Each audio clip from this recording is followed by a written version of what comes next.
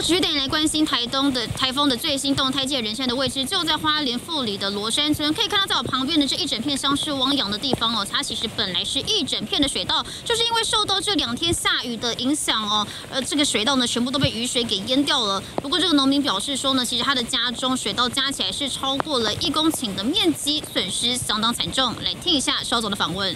这一片是种稻田呐，前天晚上就开始下雨，然后这个烂掉，可能是还要再重插了，损失差不多有这一片的话十万，啊其其他的地方哈加起来差不多有三十万了啦。秧苗刚插下去会烂掉了。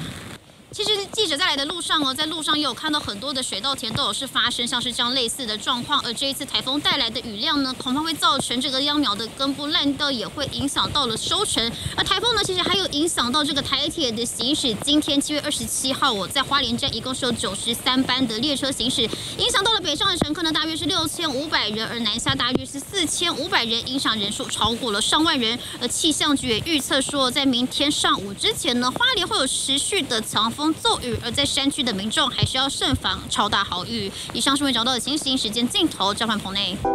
想看最完整的新闻内容，记得下载 TVBS 新闻网 APP。